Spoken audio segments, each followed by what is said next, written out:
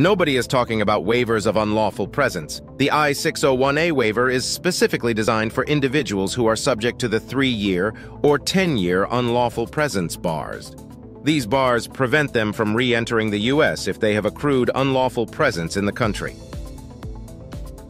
Applicants file Form I-601A, the application for provisional unlawful presence waiver, while they are still in the United States. The purpose of this waiver is to request provisional forgiveness for unlawful presence before departing the U.S. for their immigrant visa interview abroad.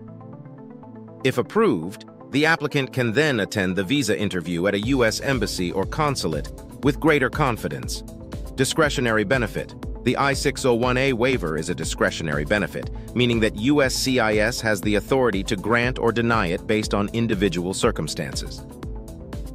This waiver is a crucial step for those seeking to reunite with family members in the U.S. and navigate the immigration process more smoothly. Follow and schedule your consultation with Martin Immigration Law Group. The link is in the bio.